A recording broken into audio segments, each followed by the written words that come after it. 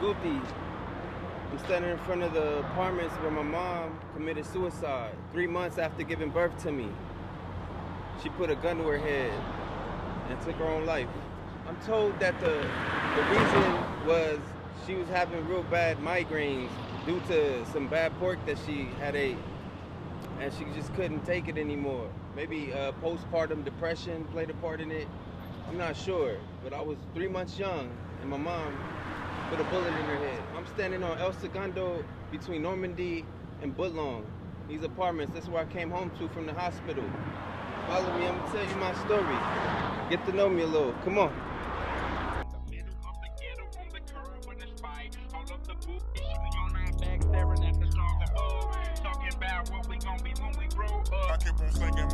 I kept on singing my song. I kept on singing my song. I kept on singing my song. I kept on singing my song. I kept on singing my song. I kept on singing my song. I kept on singing my song. Grew up on triple one in Avalon, across the street from Sojourner Truth. That's Locke's High continuation, case you didn't know. So the year's 87. Right after my mom passed, we came here on 111th in Avalon. Right there the right there, the first one. Right across the street from Sojourner Truth. Where I'm standing right in front of. Yeah, those apartments right there. Number one. That one. That's where I live. That's where I grew up at. Memories right there. Humble beginnings, yo. Grateful for it.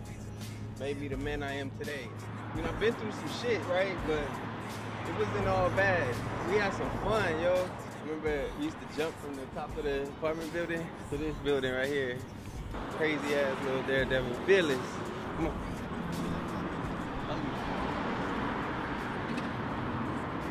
This is my window.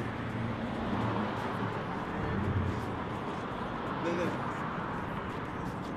We used to play marbles. Right there. That's marbles for you motherfuckers who don't speak her. Any Spanish, I'm a savage. Went on the Mika. I mean, the mic would never. Oh, shit. This is where my cousin Paco was killed. Shot eight times. R.I.P. my cousin Paco got done dirty heat. Bang, but got slain in front of them apartments. Remember like it was yesterday, all the hardship that it caused us. It was daunting, PTSD. After that, it wasn't the same to play hide and go seek. No, it's not just me. I'm sure you can relate. Still don't never lose the faith. I promise you I'll do the same. I get it cracking. Policies and pistachios. You get it cracking. Policies and pistachios. We get it cracking. Policies and pistachios. Let's get it cracking. Playing hide and seek was not the same. What I meant right there. Whenever we would run, when we, whenever we would run, like out here or up and down these stairs, trying to get away from people trying to, you know, tag us, like while we was, like, when we'd be playing freeze tag or hide and go seek, right, right there, we would all feel something. You know, like it was an eerie feeling.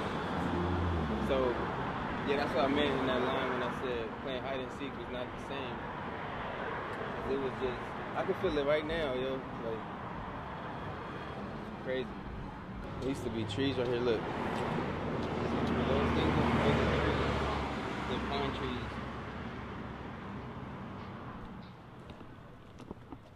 This is my, this is my door.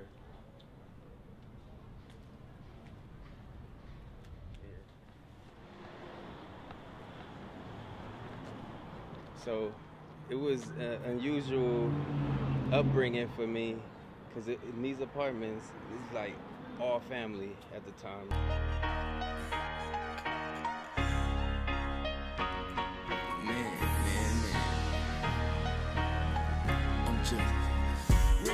About them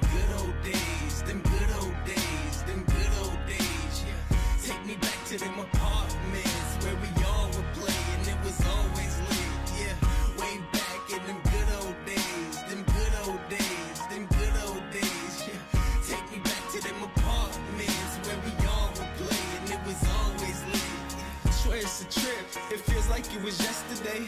We was all just kids playing hide and seek and freeze tag or red light, green light, or getting something out the ice cream truck. And each it was better than the last. How I let him water, but the fights we this is- used to have. Where it was at, yo. Good old days. Right here. Played football, soccer, This was home plate right here. Been funny, not caring about nothing. Knew to hit the deck every time since got the dumping. Then to get back up and go about our business. Even had my first kiss in the back of that building. Oh, and I said, even had my first kiss in the back of that building. This was it. first kiss right there. Badass kid. Was wild as children in the rush to living. Get it how we living. Now I'm sitting here just thinking and reminisce about them good old days. Them good old days. To them apartments where we all were playing. It's the alley. I'm gonna take you on the path I used to take to school. Used to walk to elementary school. It's the path I would take. We all were playing, it was always lit. Them were the times, not a worry in sight. All they having fun, having. This was my my best friend Matthew's crib right here. I used to come here. We used to play and shit. Memories and that. that, that. This right here is the homie Marvin's crib. Word. And think about when we would all hit up the candy house. Get Jolly Ranchers, sodas, and hella hot Cheetos. Some with McCallets, and oh yeah, chili Fritos. My favorite were Doritos with lime and tapatio. Nachos and jalapenos, churros and raspados. Man, what I get to go back just for at least one año. Get into my elementary school, right? Quick little story, yo. I remember in this corner, this little corner right here, on Stanford and 109th. I remember being in the second grade playing on the playground, right? And the car just like burning rubber, right? And then out the window just start busting in the air like an automatic weapon. It was a Uzi or something, but just start shooting in the air while all the kids was outside playing. I was one of them. I had to. Everybody hit the deck, you know. And yeah, we went into lockdown after that. But yeah, that's just a little story. I just remembered that I thought I shared. Come on. I was down. That drink had me loaded on the ground. Was sick, I was lost, but now I'm found. But that don't mean that I'm holier than thou. Story time, story time, story time. Yo, I just thought of a story I want to share with y'all. Funny story. Look, it was this one kid. He was a sixth grader. I knew him from the previous year in, in uh, elementary. I was in the fourth grade. I went to the fifth.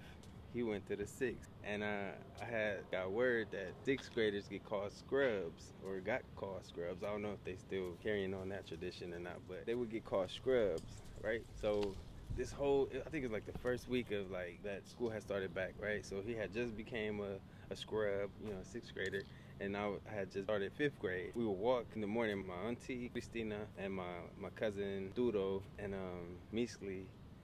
Wait, I don't remember Measley being with us that day, but he might have been. I, I'm not sure, but it, for sure it was me, uh, my cousin Duro, and my auntie Christy. Right?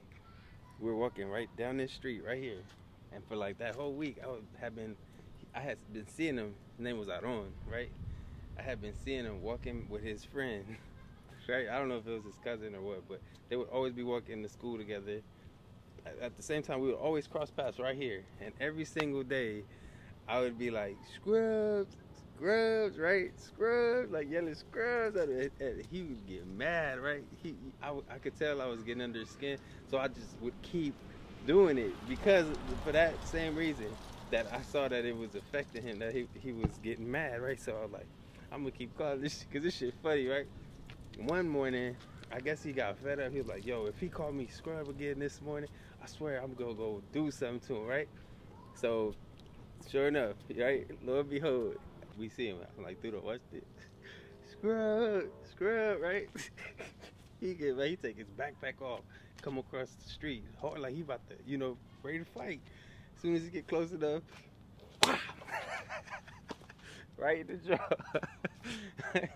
I hit him square in the mouth. He like, no, Quincy, no, no. But yeah, like I, I hit him hard as I could, Joe. Right in the boom. He, he he's ready. Come on, let's go, let's go. And he just ready, kept going.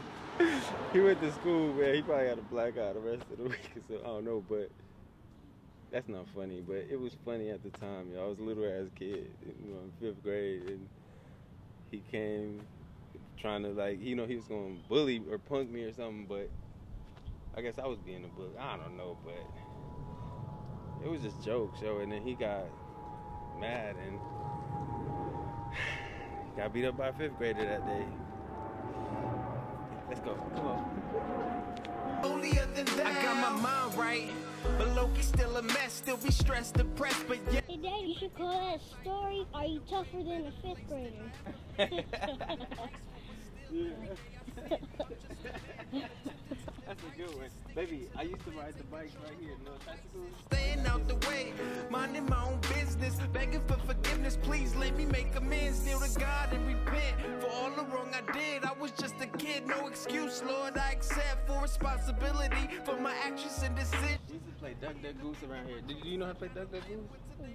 Yeah, we used to all sit down right here in a circle and then go around. Get and ready. then somebody's the goose, and they just tap you. Yeah, yeah. That was my fifth grade classroom right there. Right there, Miss Smith. One of the best teachers I ever had, yo. Shouts to Miss Smith. And thank you for everything. She was awesome. I'm trying to capture this moment. About to snap on this track, hear the facts that I'm flowing while trapped in this whirlwind. Catch me calm and relax while the raptures. They, they was calling me gifted back then. They said I might be gifted. I'm exposing my face for the sake of the fate of this omen. I'm tired of the trash shit. The state of rap is just lame, it's a shame, it's so tragic. Don't call me a has been. I ain't never got my just due, but trust good, I must. Yo, look.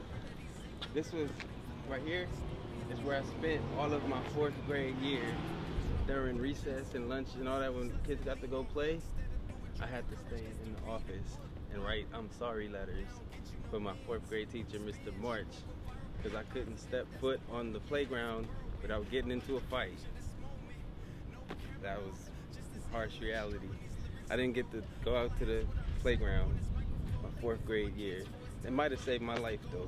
So thank you, Mr. March. For real, for real. Saved me from incarceration, all that. YA, all that. Cause I, I couldn't go out there without getting into a fight. I don't know what the fuck was wrong with me or what I was going through. But yeah. So I was banned from the playground. Couldn't go to recess. Or after lunch when they got to go play, I had to come to the office and sit in the little ass room and write letters saying why I was sorry or standards and shit. Shit was crazy. I was a fucking, I was a mess, yo. Come on. Since I was a kid, now I'm grown up. go hard or go home, but while I'm going for the throne, I'ma go nuts. I rap circles around you niggas see smoke and they call it doing donuts. I'm going too fast at the gas for a pass, I need to stop. Yo, yo, look, this is how we would get up on an auditorium roof. So, what we would do, we would climb that, that fence and then like grab onto the, that rail thing right there, where the water, the drainage thing, then put our foot on this little crevice right there, and then get on, and then we'd be up there. Throw water balloons at ice cream trucks and stuff that went by. I- one time I hit the ice cream truck right in the window, scared the shit out of the man and you know the ice cream man, but it was funny at the time. That's the shit we would do. This is our playground, yo. That basketball court, man. That's where I got my J. Fade away. I'm just playing. Come on. This was where we would get the carom boards and shit, all that right here. Out of here, the basketballs, the soccer balls, the handballs, tether balls, all that. Right here, that's that room right there. Had all for the after school program, right? We would set up right here and play after school. I wasn't even signed up for the after school program. I was just be here, you know, cause I, cause it was fun. It was a place to be after school, you know. And then after that, I just walk home. That was. I'm past baked with a high face that I cannot hide. But it's fine, could've swore I was abducted. If I wasn't, then tell me how the fuck I'm up in outer space, taking in the view of the globe and bumping pock in the spaceship. Picture me floating. Hop in the whip, take a ride with me, let's ride. I got some flight, come get high with me, let's fly. Hop in the whip, take a ride with me, let's ride. I got some flight, come get high with me. Let's fly. Hop in the whip, take a ride with me. Let's ride. I got some flight, come get high with me. Let's fly. Hop in the whip, take a ride with me. Let's ride. I got some flight, come get high with me. Let's fly.